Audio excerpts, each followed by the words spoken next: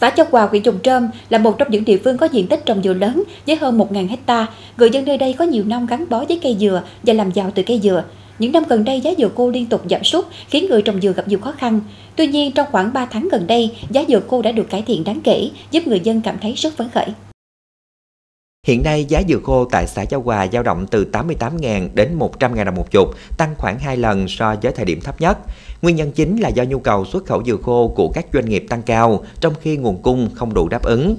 Dừa khô lên giá là một tin vui cho người trồng dừa. Đây là kết quả của việc người dân xã Châu Hòa khi trước đây giá dừa khô liên tục ở mức rất thấp nhưng bà con vẫn kiên trì chăm sóc loại cây này, không để xảy ra tình trạng dường dừa bỏ quang. Đầu năm á, thì có ba mấy, bốn mươi mấy không hả? Rồi lúc này á, nó lên được ờ, tới ờ, một trăm rồi mà không biết chừng nào nó sụt đây nữa.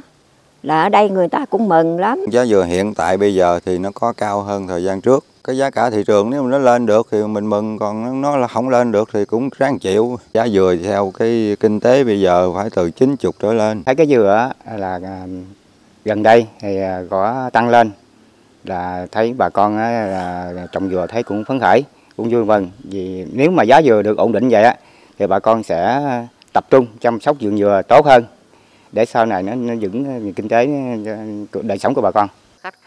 Thời gian qua, Hội Nông dân xã Châu Hòa đã thực hiện nhiều biện pháp như tìm kiếm đầu ra cho cây dừa, tăng cường liên kết với các doanh nghiệp thu mua dừa với giá cao, tổ chức hội thảo truyền đạt kỹ thuật trồng dừa theo hướng công nghệ cao, khuyến khích nông dân trồng dừa hữu cơ, từ đó giúp cho trái dừa khô luôn có chất lượng tốt và đầu ra ổn định. Hiện nay là cái giá là khoảng từ 90 ngàn à, đến 100 ngàn đồng trên một chục. Thì nếu như mà giữ được cái giá như thế này á, thì bà con người ta rất phấn khởi, người ta an tâm à, sản xuất, à, đầu tư à, phân bón, à, các cái công việc để chăm sóc vườn tược để đem lại cái hiệu quả kinh tế cao hơn nhằm đáp ứng yêu cầu cái sản lượng dừa à, để à, các nhà máy à, sản xuất.